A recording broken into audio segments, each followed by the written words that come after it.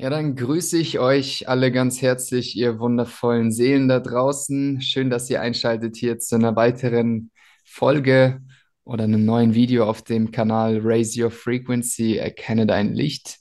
Wie du sehen kannst, bin ich heute nicht alleine zugegen, sondern habe jemanden mitgebracht, und zwar meinen lieben Freund und Bruder Lukas.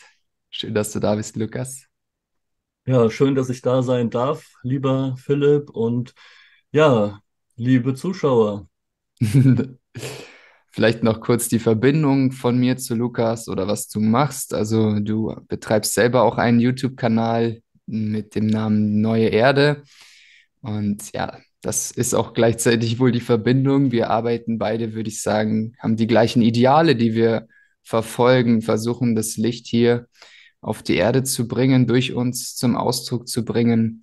Du bist ja spiritueller Impulsgeber. Und wir beide kennen uns vor allem auch durch die Verbindung zu Omra Mikhail Ivanov. Also so haben wir uns kennengelernt in Persona in der Dübener Heide im Wald.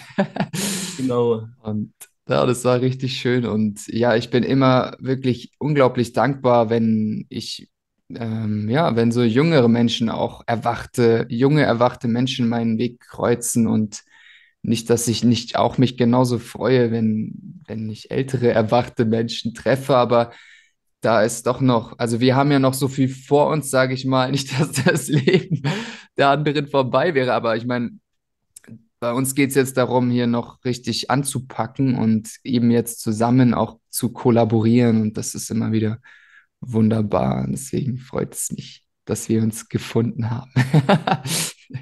Genau.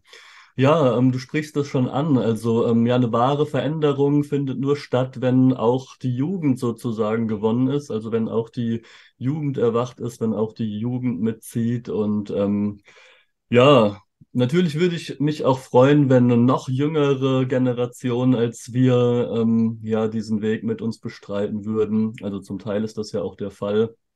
Aber ja, ich sage jetzt mal so, die Hauptzielgruppe äh, der spirituellen Menschen sind ja doch eher ältere Generationen. Absolut. Das ist so, meistens braucht man irgendwie in, so ist so die Statistik, wahrscheinlich braucht man irgendwie so eine Midlife-Crisis, mindestens eine, bis man irgendwie anfängt, das, das Ganze wirklich in Frage zu stellen. So habe ich den Eindruck. Wobei, wie meinst, wie siehst du das? Sind jetzt hier viele sogenannte Star Seeds oder eben solche Seelen, die in die neue Zeit inkarnieren, die jetzt mit hierher kommen, um wirklich die neue Erde aufzubauen. Oder ja, die Frage ist, wo sind die? Warum sieht man die jetzt noch nicht? Wo sind die? Also das ist natürlich eine gute Frage. Also ähm, wie du eben sagtest, also du hast eben die Midlife Crisis angesprochen, also dass es für viele erstmal so einen Moment braucht, ähm, der auslöst, dass man das ganze eigene Leben hinterfragt. Ja, also für viele braucht es erstmal so in gewisser Maßen eine Krise, bevor sie dann ähm, ja eben merken, hier stimmt was nicht und bevor sie dann halt auch ähm, lernen, Dinge aus einer anderen Perspektive wahrzunehmen. Also das macht für mich einen großen Teil ja, des spirituellen Bewusstseins aus, dass man halt eben auch von einer anderen Perspektive, von einer Vogelperspektive auf die Dinge schaut, als jetzt die Perspektive, die einem jetzt ähm, als Kind in den Institutionen vermittelt wird. Ja, absolut. Und äh, ich meine, ich habe mir jetzt gerade so den Gedankengang auch gehabt, im Grunde ist es ja auch genauso wertvoll, mit den älteren Generationen also zu arbeiten. Es ist, jeder erwachte Mensch ist immer unglaublich wertvoll, auch in der Hinsicht, dass das ja wiederum Teile in der Regel sind von Familien. Ich meine, wenn jetzt die Eltern erwachen, dann ist, so funktioniert ja im Grunde auch Erziehung. Also es geht ja nur darüber, dass es jemand anderes einem vorlebt. Jemand, der Mhm. einem stetig begleitet. Im besten Falle ist das also ein Elternteil oder sogar beide. Also Ja, ja. also da sehe ich auch ähm, eine sehr große Aufgabe, gerade der älteren Generation auch. Also ich weiß, ähm, dass äh, ja ein Großteil der Menschen, die dieses Video hier schauen, werden wahrscheinlich auch älteren Generationen angehören. Also du hast ja gerade gesagt, ich habe auch einen YouTube-Kanal und bin ja da auch in der Lage, die Statistiken mir anzuschauen und sehe da ja auch ganz genau, welche Altersgruppe in erster Linie ähm, ja die Videos schaut oder spirituelle Videos schaut und auch im Austausch mit anderen spirituellen Kanalbetreibern, ja, habe ich sozusagen herausgefunden, dass es sich dabei hauptsächlich um ältere Menschen handelt. Und ähm, ja, ich sehe auf jeden Fall auch bei den älteren Menschen eine große Aufgabe darin, auf die jüngeren Generationen zuzugehen, also mit ihrer Weisheit, mit ihrem spirituellen Wissen und ähm, ja, so den ein oder anderen Funken zum Glimmen zu bringen. Also äh, ja, die, also viele ältere Generationen, die schimpfen ja oft auf die Jugend oder sagt ja, die Jugend, die müsste mehr so sein, mehr so sein, aber ja, sie haben halt letztendlich aber auch eine entsprechende Vorbildfunktion in gewisser Weise. Ja, also wirkliche Erziehung, wirkliche Bildung geschieht meiner Ansicht nach nur über Vorbilder. Ja, also man kann Kindern noch so viel erklären, noch so viel rationale Beispiele bringen. Letztendlich ist es das Vorleben, was ähm, ja, was, was das Kind dazu animiert, einen bestimmten Weg zu gehen. Und ähm, ja, gerade in unserer aktuellen Zeit sollte man sich dessen viel, viel mehr bewusst werden, dass auch so diese ganzen Phänomene, die politischen Phänomene, ich spreche jetzt nur mal so Klimakleber an oder auch jetzt so Transgender, LGBTQ-Bewegungen, die von vielen älteren Generationen kritisiert wird, dass die ja letztendlich auch irgendwo eine Ursache des Handelns der älteren Generation sind. Also ich will hier keinesfalls ähm, die Schuld irgendwem spezifisch zuschieben, aber man muss sich natürlich auch immer die Frage stellen, warum ist die Jugend so empfänglich für bestimmte Ideale oder für bestimmte Vorbilder, Rollenvorbilder und ähm, ja, also da trägt natürlich die Erziehung oder die Ideale, die Idole, die sie hatten, trägt da einen großen Teil zu bei. Ja, da hast du natürlich vollkommen recht. Und ich meine, da muss man wahrscheinlich schon ein bisschen differenzieren. Wir sprechen hier von dem Kollektiv der älteren Generation. Ich bin mir ziemlich sicher und weiß auch um die um Anhör Angehörige dieser Community hier, ähm, dass die natürlich alles in ihrer Macht erdenkliche tun. Immer wieder habe ich den Eindruck, das erzählen die mir auch, dass sie versuchen, auf ihre Kinder irgendwo einzuwirken oder auch auf die Enkelkinder und letztlich, äh, ja, reiten man, reiten die da gefühlt immer wieder gegen Windmühlen, wie man so schön sagt, die, mhm. das, die wollen ja oftmals nicht. Oder es ist schwierig, da irgendwie eine Sprache zu finden oder diese Kluft zu schließen. Besser wäre es ja dann fast, wenn wenn die jungen Menschen sehen, wenn es also mehrere tatsächlich von uns auch gäbe, denke ich, die irgendwie ein bisschen lockerer sind, noch irgendwie deren Sprache sprechen, weil wir sind noch nicht so weit von denen weg. Deswegen habe ich ja auch jetzt in jüngster Zeit immer mehr und mehr diese Idee gefasst und auch äh, lieben gelernt, dass ich mehr mit jüngeren Menschen arbeiten möchte, eben genau ähm, um diese ja, um dieses, diese Vorbildfunktion einfach zu übernehmen und denen auch zu zeigen, dass sie, ja, im Grunde geht es ja nur darum, denke ich mir immer wieder, den Menschen das Gefühl zu geben, dass sie in Ordnung sind, wie sie sind, weil das ja. ganze Ego-Trennungsgefüge habe, diese ganze schrägen Geschichten entstehen ja nur daraus, dass alle sich getrennt voneinander fühlen, ja. Genau, da könnte man auch noch, ja, unwahrscheinlich in die Tiefe gehen und analysieren, warum das denn so ist, ja, also warum alle Generationen so getrennt voneinander sind. Also, was man auf jeden Fall beobachten kann, ist insbesondere, wenn man sich die jüngeren Generationen anschaut, ist, dass jede Generation sehr unter sich ist, also sehr isoliert voneinander irgendwo aufwächst. Ja, also das war in der Vergangenheit beispielsweise nicht so. Also bis vor 100 Jahren ungefähr plus minus war es ja so, ja, dass viele Menschen in Mehrgenerationen-Haushalten aufgewachsen sind. Also da war dann die Urgroßmutter dann oft auch noch immer dabei und man hatte halt immer direkt diesen generationenübergreifenden Kontakt. Ja, und durch verschiedene Ideale, die in die Gesellschaft gebracht worden sind, also alle herkommen. Ähm, der ein oder andere Zuschauer wird da wahrscheinlich auch selber eine Antwort drauf haben. Jedenfalls ja wurden verschiedene Lebensmodelle beziehungsweise Ideale sozusagen unter die Menschen gebracht, Ja, die die Generation voneinander abgetrennt haben, ja, also ähm, insbesondere nach dem Zweiten Weltkrieg war es dann, ja, waren dann die Ansichten oder die Wertvorstellungen der älteren Generation dann oftmals verpönt, ja, also wurde da, die wurden dann als die Nazi-Generation bezeichnet und es war dann irgendwie uncool, mit älteren Menschen zu tun zu haben. Und ja, das trägt sich natürlich über die ganzen Generationen hinweg. Ja, also es sind damals, ja, transgenerative Traumata nennt man das halt auch, also generationenübergreifende Traumata entstanden, weil dann die nachfolgenden Generationen diese Verhaltensweisen dann auch wieder und wieder imitiert haben. Ja, also wenn die Elterngeneration eher nicht so ein gutes Bild von den Großeltern hat und du lebst das deinen Kindern vor, dann werden diese Kinder dieses Verhalten dann halt auch logischerweise übernehmen. Ja, also es, die Verhaltensweisen, die übertragen sich halt transgenerativ, also über Generationen hinweg. Und ähm, deswegen habe ich ja eingangs auch gesagt, also ist es meiner Ansicht nach unter anderem eine Aufgabe, die, die jetzt ansteht, also auch insbesondere für die ältere Generation, ähm, ja, da eben dieses Einfühlungsvermögen zu haben und auf die Jüngeren zuzugehen und von sich aus eben die Brücke bauen. Also natürlich können Menschen wie du und ich tun auch natürlich unser Bestes, um da mitzuwirken an diesem Großen und Ganzen. Aber ja, von der jungen Generation kann man es halt nicht erwarten. Also sage ich jetzt halt mal ganz ehrlich. Ne? Also wenn man halt etwas erreichen möchte, dann macht es keinen Sinn zu sagen, ja, mach du doch mal den ersten Schritt.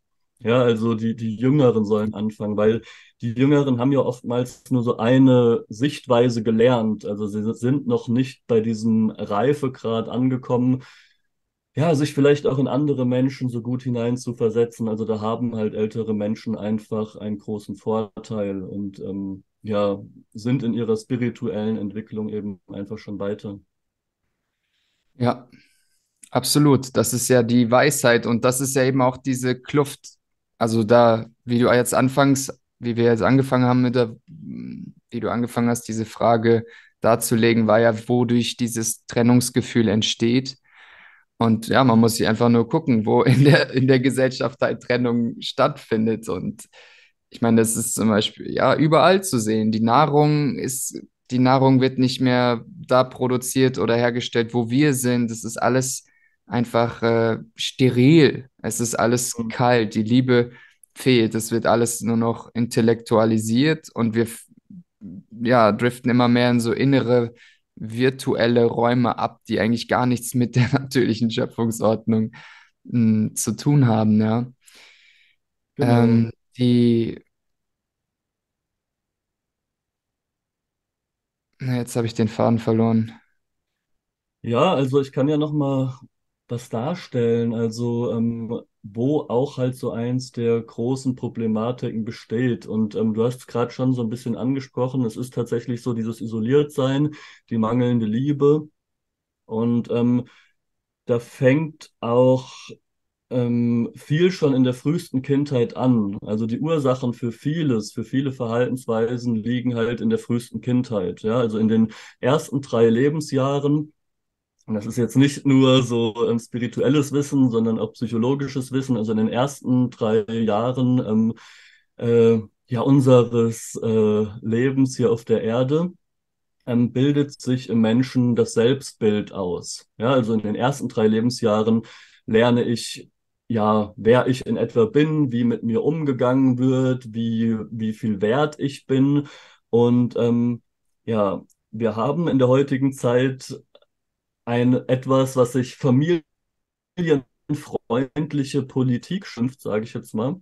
Und diese familienfreundliche Politik, ähm, die soll es halt ja, jungen Eltern ermöglichen, so schnell wie möglich wieder arbeiten zu gehen, so schnell wie möglich ähm, zu funktionieren. Und ähm, es ist halt eben möglich, dann halt Kinder in frühestem Alter schon wieder äh, in den Kindergarten halt eben zu geben, wo sie dann halt unter staatlicher Obhut eben sind, also von Institutionen erzogen werden.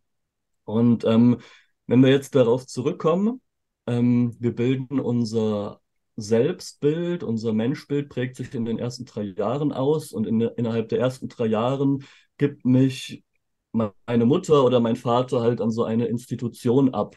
Also was entsteht da für ein Selbstbild im Kind? Ja, also es entsteht das Bild, es ist, es ist nicht gewollt, jetzt ähm, sind hier andere da, von denen ich abhängig bin. Ne? Also ich, ich muss mich anderen Menschen anvertrauen, ich habe gar keine andere Wahl.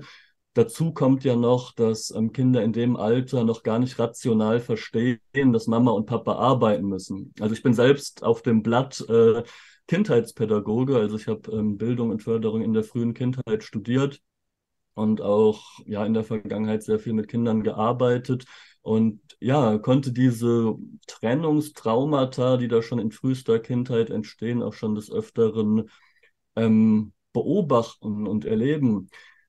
Und ja, also dieses Selbstbild, was in diesen ersten drei Lebensjahren entsteht, das ist auch sehr, sehr schwer ähm, ja, rückgängig zu machen oder es ist sehr, sehr schwer wandelbar. Ja, also weil insbesondere in den ersten Lebensjahren die Dinge, die wir dort erleben, die sind so wichtig und so prägend, ähm, dass es im Prinzip hinterher im Nachhinein so gut wie gar nicht mehr möglich ist, diese Traumata noch anzugehen oder anzuschauen. Einfach weil die Weltsicht, das Fundament, auf dem das ganze Denkmuster aufbaut, ähm, in dieser Zeit so stark geprägt wird. Ja, also das, ähm, das ist eins der eine der wesentlichen Ursachen. Deswegen, ähm, ja, also die einzige Lösung ist eigentlich, dass Kinder wieder länger bei ihren Eltern bleiben, also dass ähm, beständige Vorbilder zugegen sind, so wie das auch in früheren Zeiten waren, ja, also nicht mit ähm, ja, ständigen, ständig wechselnden Bezugspersonen in Institutionen, sondern halt ähm, ja, Bezugspersonen, die halt permanent da bleiben und die halt auch über einen längeren Zeitraum im Leben hinweg ein Ansprechpartner sind. Ja, also vor 100 Jahren, ähm, da, äh, da war mein Opa vielleicht äh, das Vorbild, als ich drei Jahre alt war und auch noch, als ich zehn Jahre war und als und mit 20 und heute ja, haben wir halt noch so diese Institutionen dazwischen geschaltet und zusätzlich dann noch alle möglichen Vorbilder durch die Medien, durch das Fernsehen, ähm, die eben auch noch ständig wechseln. Also ja, es ist, es ist nicht mehr so eine ja, es ist nicht mehr so eine Konstante im eigenen Leben. Ja, also man wird ständig hin und her geworfen, man hat ständig neue Impressionen, neue Eindrücke. Und ähm, das führt nun mal dann eben auch zur Verwirrung. Ja, und ähm, diese Verwirrung führt dann auch dazu, dass man dann möglicherweise, ja, alle Werte und Normen, die uns über Generationen hinweg ähm, übertragen wurde, dann in Frage stellt und ähm, ja, sich sehr destruktiv möglicherweise gegen die älteren Generationen wendet. Ja, es ist so, wie du sagst. Ich stimme dem allem zu. Ich, das sind die Ideologien, die uns immer wieder und ganz systematisch äh, indoktriniert werden oder dieser Film. Also ich denke immer wieder an diese Filme Inception und auch Matrix. Ich war gestern langere Zeit in der Stadt und habe die Menschen so beobachtet und das trifft einfach so gut den Nagel auf den Kopf. Es ist unglaublich. Und ich meine, so wie du gesagt hast, ja, das ist nicht mehr cool, mit seinen Großeltern vielleicht Zeit zu verbringen.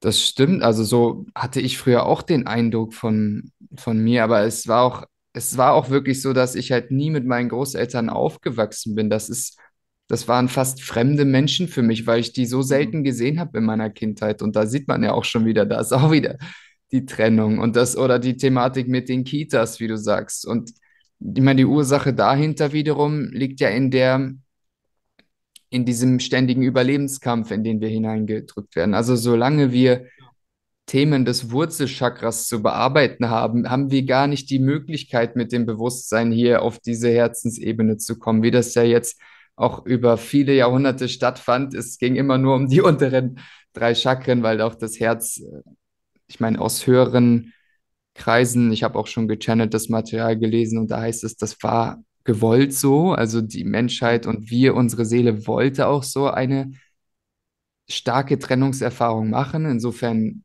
kann man das auch wieder wertfrei beobachten. Aber ich denke, wir sind jetzt an dem Peak angekommen und es ist ja, ist nicht ohne Grund sagen, sagten die Rishis auch, dass jetzt das Kali Yuga dann vorbei ist, dieser Zyklus. Und wir, man merkt ja, es ist eine große Aufbruchsstimmung. Und das heißt, wir sind jetzt so weit. Man spürt, das Herz arbeitet wieder viel mehr mit. Und das heißt, wir sind jetzt auf dem, diesem Trend entgegenstrebend, dass wir das Ganze wieder aufzuarbeiten, aufzurollen haben. Und klar, dafür müssen wir jetzt also anfangen, Konzepte zu entwickeln, genauer hinzusehen. Oder vielleicht ist auch Konzepte zu entwickeln falsch äh, gesagt, man müsste eigentlich nur die ganzen maroden, stupiden Konzepte beiseite lassen. Dann wird es vielleicht auch wieder funktionieren. Also wenn das Herz wirklich wach ist, so habe ich den Eindruck, wenn die Liebe wirklich da ist, dann braucht es kein Konzept mehr, weil dann, dann ist man in der göttlichen Ordnung und dann weiß man in jedem Augenblick eigentlich, ja, ich gebe mein Kind jetzt nicht mit einem Jahr ab, also geht's noch. Und klar, wenn du aber sagst, okay, ich, wie soll ich jetzt meine Miete sonst bezahlen und ich will dieses Kind auch ernähren, ja, es ist schon kein leichtes Ja, Unterfangen. also Der, ich will da auch niemanden verurteilen, ähm, der das nicht äh, umsetzen kann. Also mir ist es ja, natürlich durchaus bewusst, die Problematik, also dass viele arbeiten müssen, dass sie gezwungen dazu sind, ähm, weil sie halt eben Miete zahlen. Gerade in der jetzigen Zeit haben wir ja steigende Lebenserhaltungskosten. Ähm, ja, was meiner Ansicht nach nur wichtig ist, ist, dass, dass man halt auch über diese Themen eben spricht, also dass man ein Bewusstsein dafür hat, ja. Also denn wenn man ein Bewusstsein dafür hat, dann ähm, kann man natürlich auch einige Sachen kompensieren, auch beim eigenen Kind. ne? Also es ist jetzt natürlich nicht so, dass ein Kind, ähm, was jetzt äh, etwas früher in die Kita kommt, dass es jetzt äh, gänzlich verloren ist. Also das ist zum Glück nicht der Fall, ja. Aber es sollte einem natürlich schon bewusst sein, dass sich halt in dieser Zeit nun mal dieses Selbstbild, das Bild von sich selbst und auch das Menschenbild eben ausprägt. Und ähm, ja, dass es halt wichtig ist, gerade in dieser Zeit sehr, sehr viel Liebe und ähm, ja, auch Verständnis für das Kind eben zu haben. Ja, also weil wenn man halt in den Geborgenheit. ersten, wenn man halt in den ersten Jahren keine Liebe erfährt, dann wird man sich auch als ungeliebte Wesenheit in Zukunft dann empfinden, das Leben. Mhm. Also das, das, das Fortlauf, über das fortlaufende Leben hinweg. Also, und dadurch entstehen dann halt eben, ja, psychologische Phänomene wie Narzissmus und ähm, ja, dass man viele, dass, dass man sich die Liebe dann halt erkaufen muss, also dass man sie auf materieller Ebene dann halt eben kompensiert. Also ein Großteil der materialistischen Phänomene, die wir in der heutigen Zeit sehen, die ähm, haben auch ganz klar ihre Ursache, also meiner Ansicht nach zumindest, also darin, dass die Menschen eigentlich eine, ein mangelndes Selbstwertgefühl haben. Also dass sie sich im Prinzip nicht geliebt fühlen und dann halt eben durch ja, Statussymbole oder ähm, irgendwelche ähm, Sachen, die sie sich dann halt käuflich erwerben, ähm, ja, eben nach dieser Liebe eben betteln.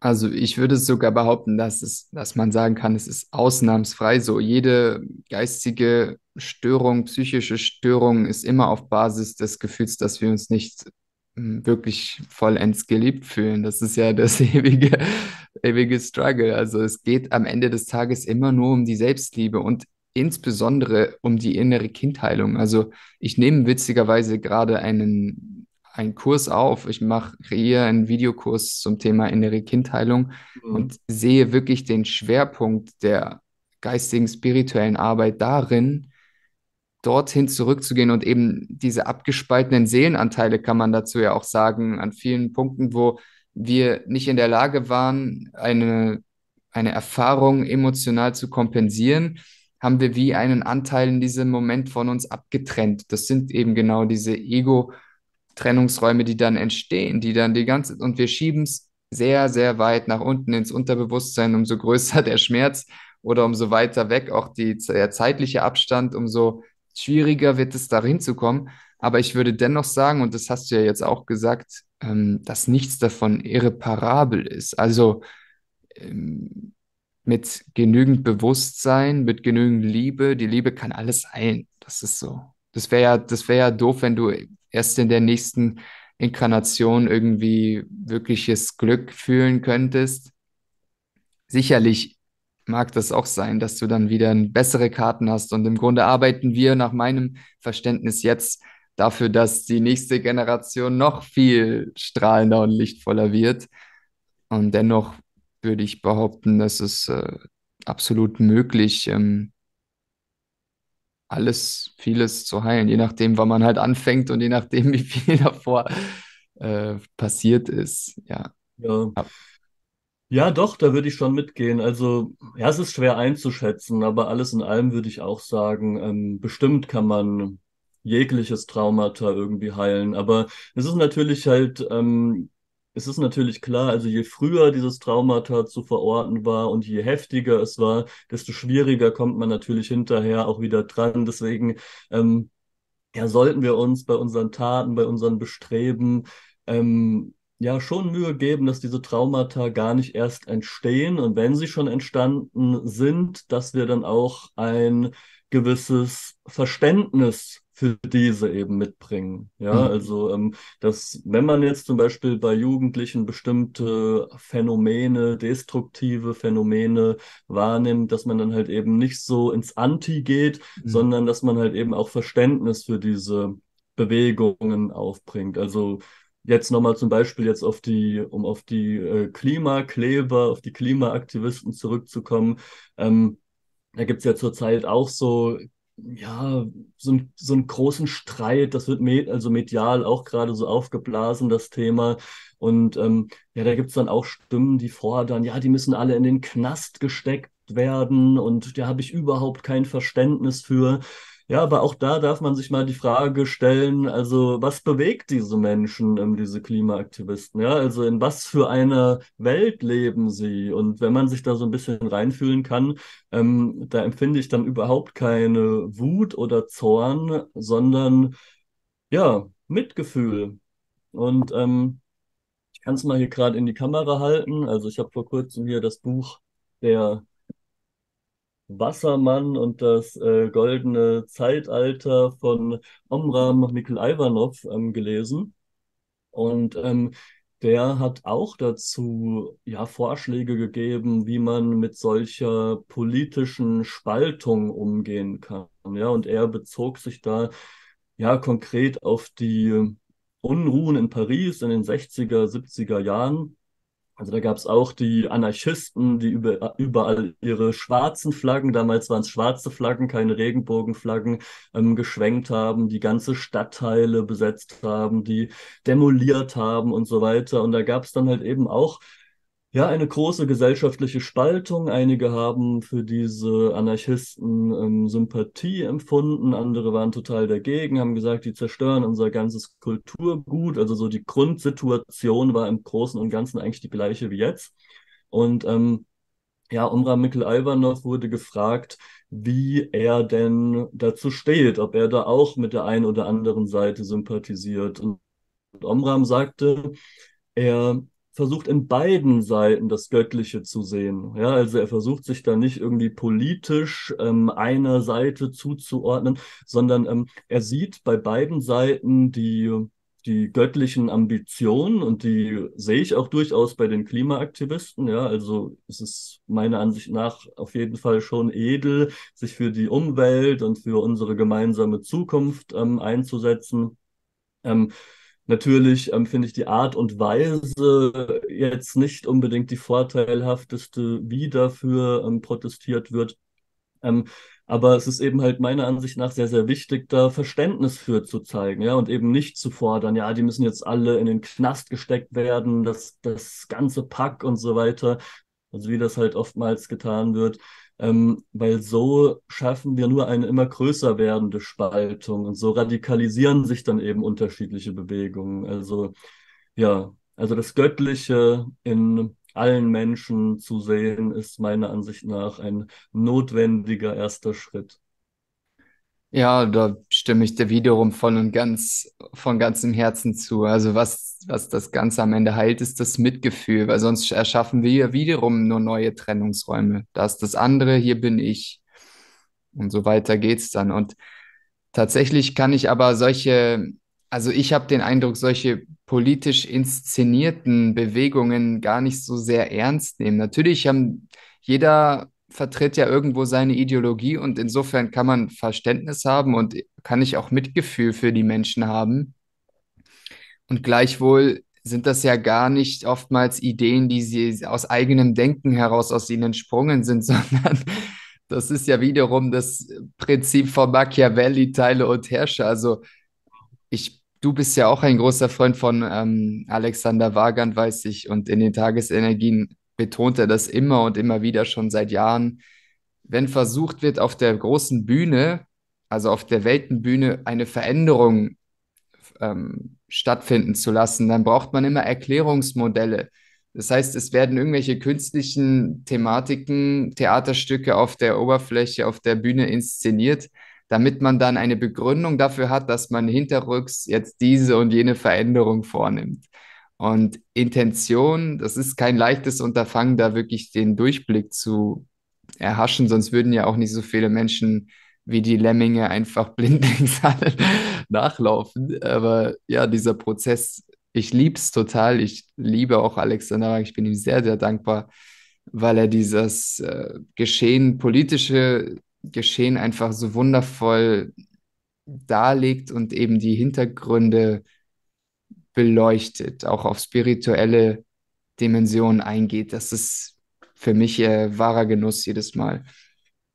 Und Ja, insofern, ja, kann ich solche, ich bin mir sicher, auch in den 60er, 70er Jahren, es kann sein, dass da ein paarjenige selber den, die Idee hatten, aber letztendlich sieht man immer wieder, dass dahinter mh, große, also Finanziers sind aus immer den gleichen Kreisen, die dann solche Bewegungen unterstützen.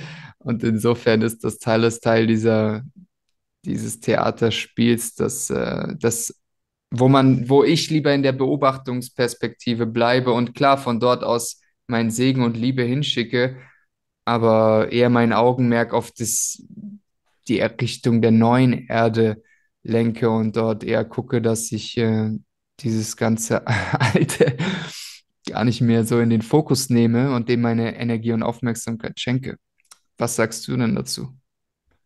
ja, ähm, ich sehe es ein wenig differenzierter, muss ich sagen. Also ich denke schon, dass man solche Phänomene schon ernst nehmen muss. Also jetzt nicht unbedingt ähm, inhaltlich, also dass man sich jetzt inhaltlich so, so sehr damit auseinandersetzt, aber man darf sich natürlich die Frage stellen, ähm, warum nehmen diese Bewegungen diese entsprechende Ideologie eher zum Vorbild als das, was ihnen ihre Großeltern vermitteln? Ja, also Warum ist diese Generation so isoliert und auch von ihrer Weltanschauung so is- isoliert und fühlt sich ja auch offenbar damit irgendwo auch alleine gelassen, weshalb sie dann halt ähm, solche heftigen Protestaktionen eben durchführen, um Aufmerksamkeit zu erregen. Also sie kleben sich ja an den Straßen fest, ähm, um äh, ja den Politikern zu zeigen, dass sie eben gehört werden wollen, auch wenn es jetzt in erster Linie halt erstmal die Falschen trifft, ne? Also es sind dann halt ähm,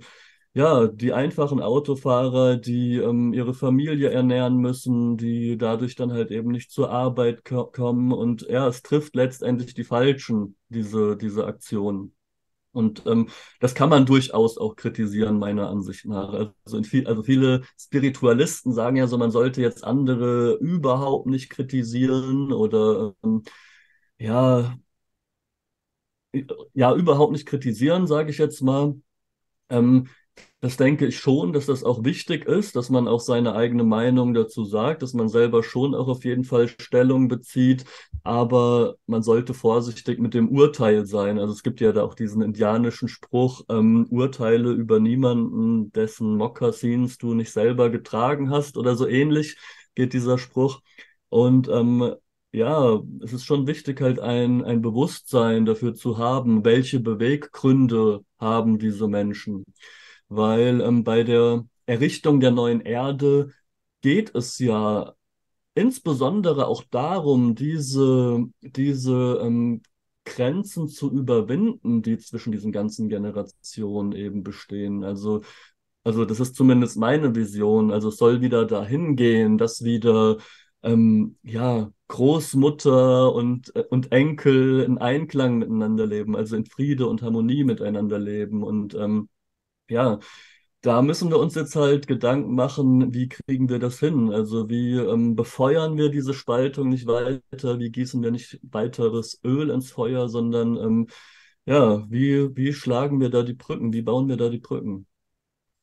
Ja, ja, da hast du vollkommen auch recht. Also wenn man sich dorthin gehend berufen fühlt, ich habe für mich entschieden, dass es das Sinnvollste ist, nicht, dass ich eine Art von Trennung dorthin gehend äh, ziehe oder sage, die, mit denen will ich nichts zu tun haben. Ich verbinde mich immer mit allen Menschen und versuche halt dort Heilung und Licht hinfließen zu lassen. Ich meine, es geht ja immer nur darum, dass man das Augenmerk auf das Positive, auf den heilen Zustand lenkt und Mhm. nicht auf, in Problemen rumstochert oder neue Probleme kreiert, unnötigerweise.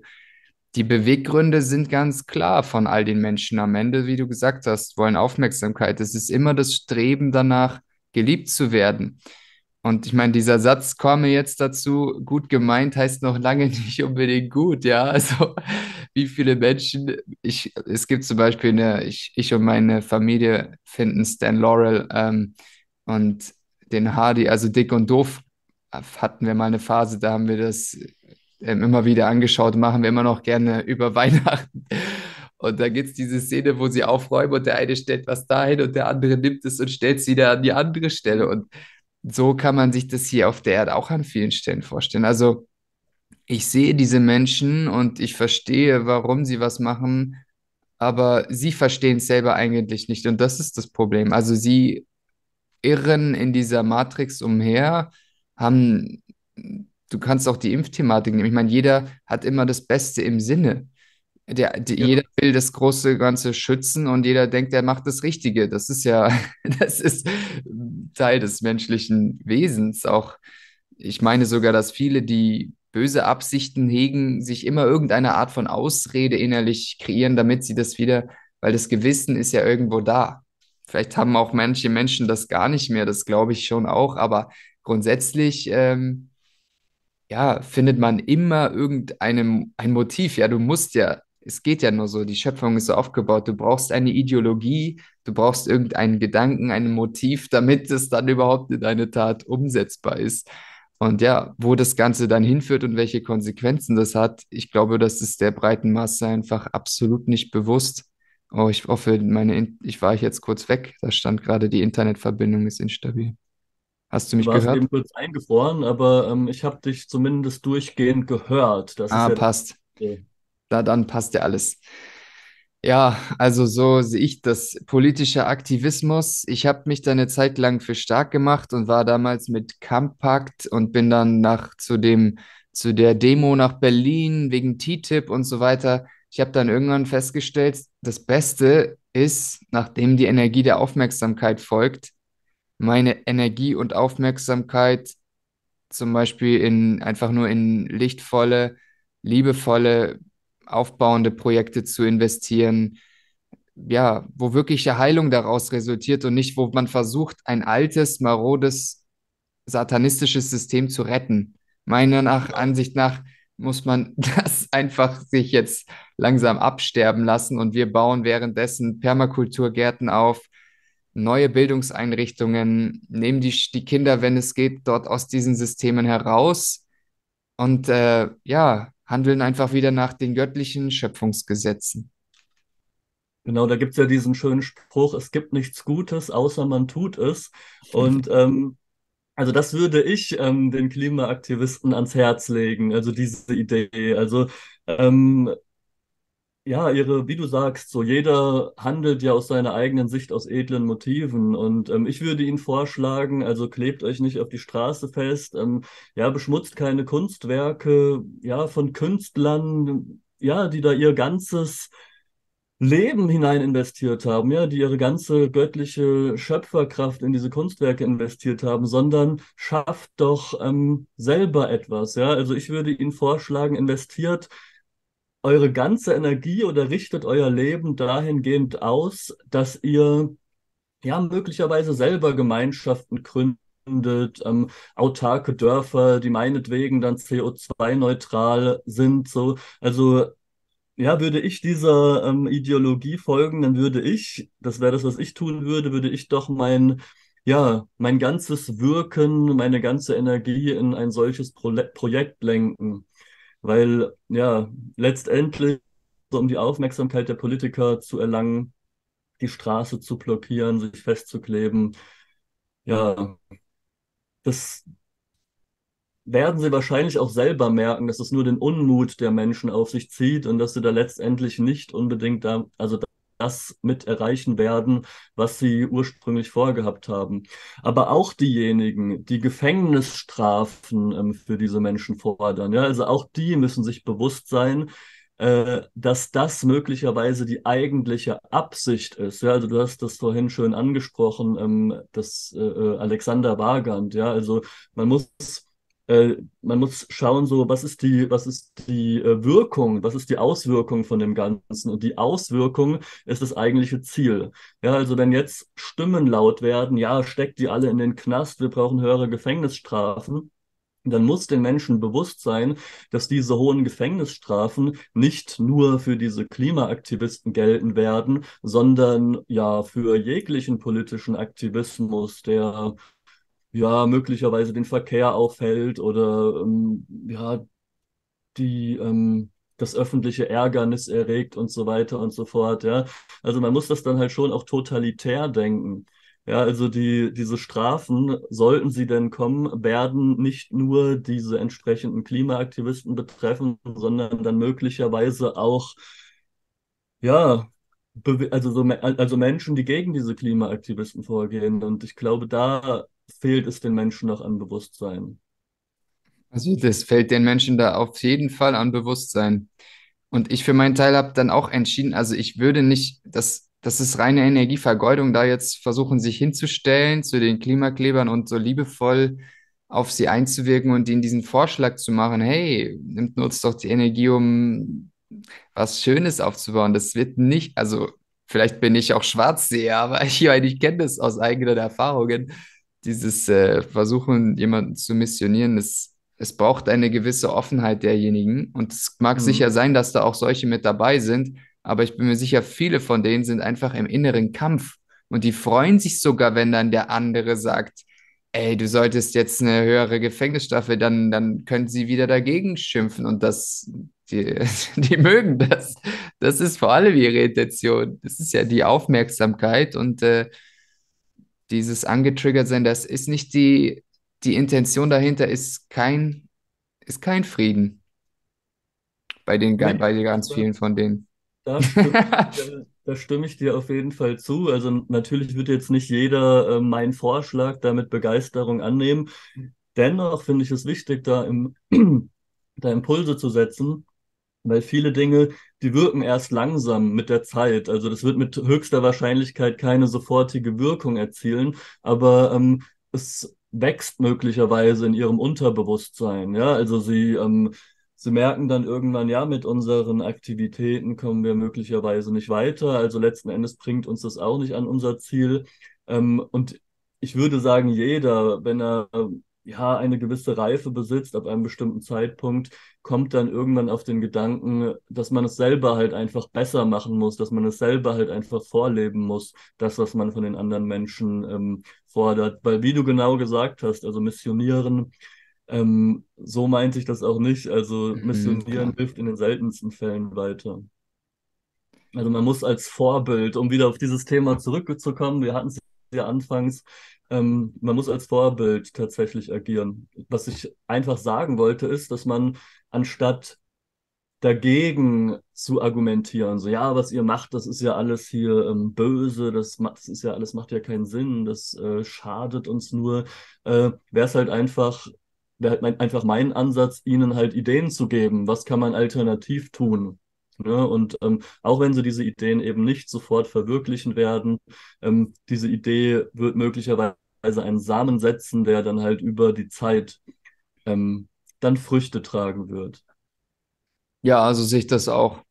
Indem wir einfach auch vor allem, und das kann man eigentlich als einziges tun, an sich selber weiterarbeitet, weil dadurch wird man zu einem lichtvolleren Vorbild und dadurch heben wir insgesamt die Energie an und es ist ja alles energetisch verwoben und verbunden und insofern wird es irgendwann auch hier ein Peak erreicht sein. Wann das soweit ist, das steht in den Sternen. Das weiß nur Gott. Aber gut, wir haben es auch in der Hand natürlich irgendwo, indem wir weiter uns Mühe geben, mit viel Willenskraft und Engagement am Ball bleiben. Und dann irgendwann, ja, wenn es dann diese autarken Dörfer meinetwegen gibt, wenn es wieder viele Menschen gibt, die wirklich, die werden ja dann auch so schön, ja, durch das Licht, du wirst strahlen, du bist gesund, weil du wieder mit der Natur im Einklang lebst und die Leute werden automatisch dann darüber gehen und sagen, wieso, warum soll ich denn in diesem Kack, äh, dieser schlechten Lebensverfassung oder weiterleben mit dieser Philosophie? Und ja, insofern, das wird, denke ich, einen guten Schwung an Erwachensimpuls dann geben. Und vielleicht gibt es noch ein paar Pharisäer, die dann immer noch festhalten wollen, aber das wird immer so sein, wahrscheinlich. Also es, ich bin gespannt, wie sich die nächsten Jahre entwickeln. Es wird immer weiter der Hahn abgedreht werden für diejenigen, die in den alten Systemen System stecken bleiben, weil ich wollte eigentlich mit dir noch tiefer auf das äh, Thema Energieverknappung eingehen, aber das werden wir wohl ein anderes Mal behandeln, weil der Hahn wird immer weiter zugedreht. Wenn du nicht den Schritt rausmachst, wenn das Erwachen nicht stattfindet, wird ähm, dir weiter der Hahn abgedreht, obwohl wir in einem Energieüberfluss eigentlich leben. Aber Ganz genau. Ja, deswegen ist es natürlich von Vorteil, ähm, äh, ja, also je schneller zu erwachen, desto besser auf jeden Fall, weil wenn erstmal der durch den abgedrehten Hahn das Wasser weg ist, dann ist es schwer, sich daraus zu befreien. Ja? Also solange wir noch einen gewissen Handlungsspielraum haben, solange wir noch Energie haben, können wir diese Energie schon nutzen, um das Neue zu gestalten. Wenn wir jetzt einfach immer ähm, ja, untätig bleiben und uns denken, irgendwer wird es schon richten, äh, Putin, die Whiteheads, wer auch immer, ähm, ja, dann sehe ich da natürlich Schwierigkeiten. Dann hat man es letzten Endes dann halt schwerer. Also wenn man erstmal keine Mobilität hat, wenn man erstmal keine Handlungsmöglichkeiten mehr hat, ähm, dann ist man nicht verloren, aber dann äh, ja, ist es, hat man natürlich weniger Möglichkeiten, ähm, ja, etwas Neues zu gestalten oder sich äh, zu informieren, neuen Dingen anzuschließen und so weiter und so fort. Da hast du vollkommen recht, ja. Ich unterschreibe alles, was du gesagt hast. Also fast alles. 95 Prozent. Du sollst gar nicht alles unterschreiben. Also ich will hier nicht als äh, Meister wahrgenommen werden. Also auch ich sehe mich so als spirituell Suchenden und ähm, ja, bin froh, wenn ich den einen oder anderen Impuls geben kann, aber jeder sollte auf jeden Fall mit seiner, mit seinem eigenen Herz und Verstand überprüfen, ähm, ob das Ganze auch äh, für ihn stimmig ist. Ja, super. Das ist doch relativ rund jetzt, denke ich. Also ja. vielleicht so eine hm, Schlussfolgerung daraus, was du jetzt vielleicht so daheim, der du das Ganze angehört hast, mitnimmst. Nochmal eine Zusammenfassung. Erziehung kann nur dadurch stattfinden, indem wir an uns arbeiten und das vorleben. Und zu sagen, der andere soll erstmal den ersten Schritt machen, ist sicherlich nicht die beste Variante. Und ja, vielleicht versuchen, jede erdenkliche Möglichkeit, das schafft ja auch wieder Lebendigkeit. Der Geist, wenn der Geist reinkommt, der hat ja Ideen und der bringt dann auch wieder neues Leben in die Materie, in den Körper.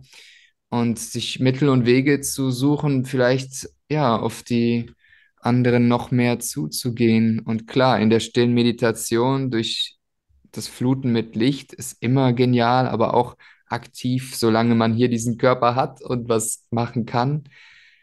Ähm, ja, Mittel und Wege zu finden, irgendwie weiter andere zu inspirieren. Genau. Es gibt nichts Gutes, außer man tut es. ja. Na gut, dann lass uns das gerne zu einem späteren Zeitpunkt nochmal fortführen. Ich denke, für heute reicht es, weil die Aufmerksamkeitskonzentrationsfähigkeit äh, auch irgendwann nachlässt. Mhm.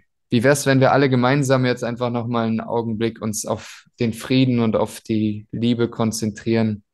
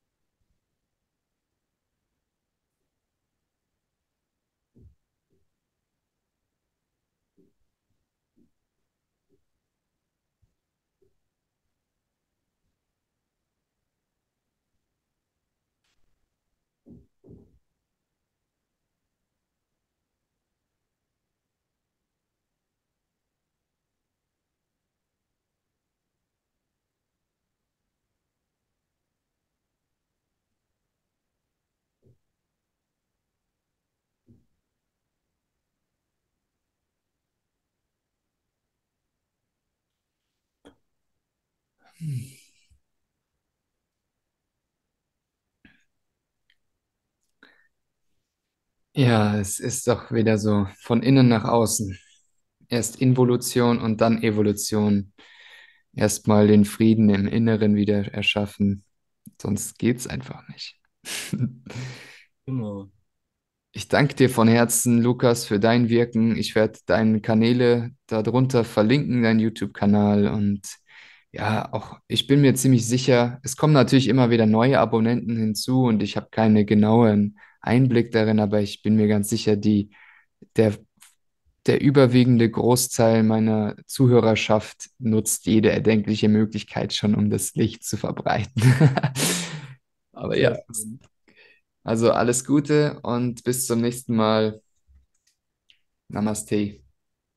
Ja, vielen Dank und Gottes Segen. mm